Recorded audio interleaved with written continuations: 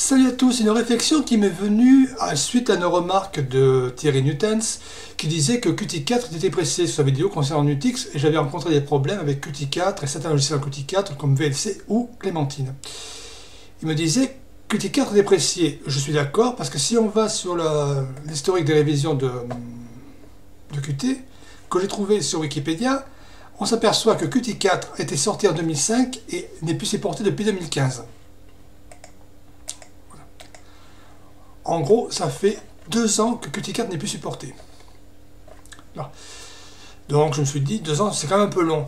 Je sais bien que le gros utilisateur qui est KDE a bien sarclé tout ça.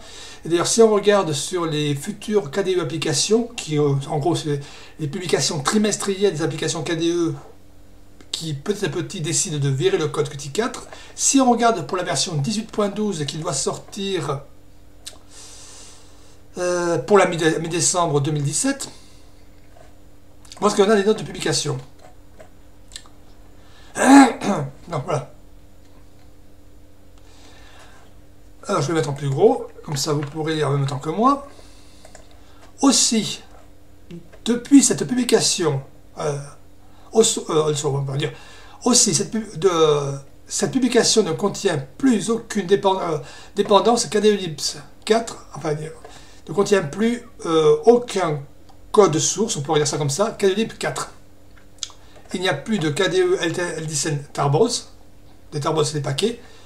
Ils étaient utilisés uniquement pour les euh, logiciels euh, basés sur KDE 4 qui ne sont plus du tout nécessaires.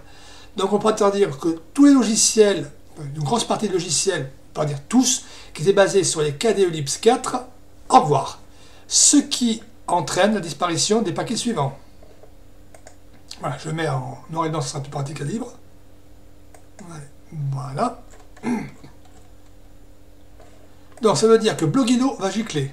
Jovi, Accessible, Cassin Plugin, Current Time, l'enseignement, enfin du Runtime, Control, KPPP, Kafar Replace, KInsitu, Copet, l'outil de messagerie instantanée, KSCD et Kstars. Ça fait quand même pas mal de logiciels qui vont gicler. Et ça, c'est prévu pour la mi-décembre.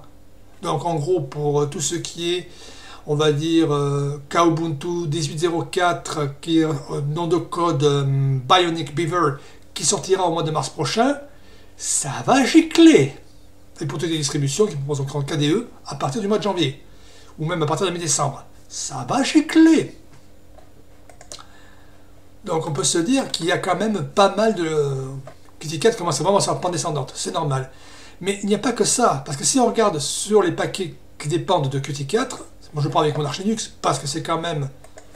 Sur Arch Linux, il y a un truc que, le gestionnaire de paquets sait gérer, c'est les dépendances.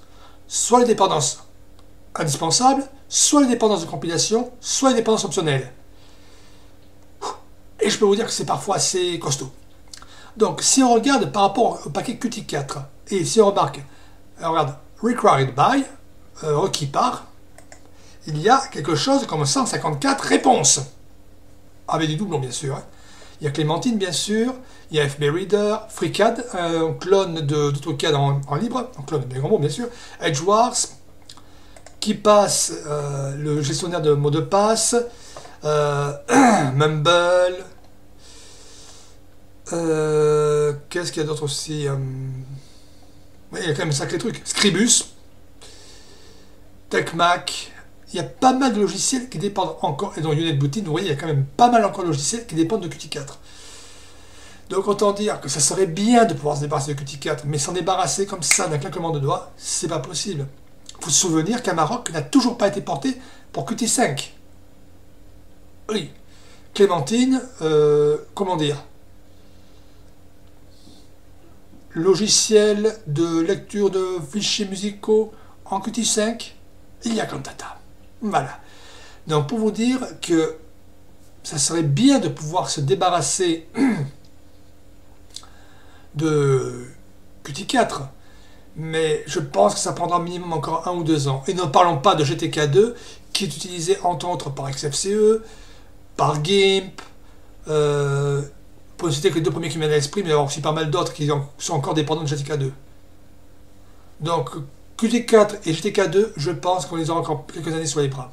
Voilà, j'espère que cette courte vidéo vous a plu. Sur ce, je vous laisse, je vous dis salut à tous et à la prochaine. Ciao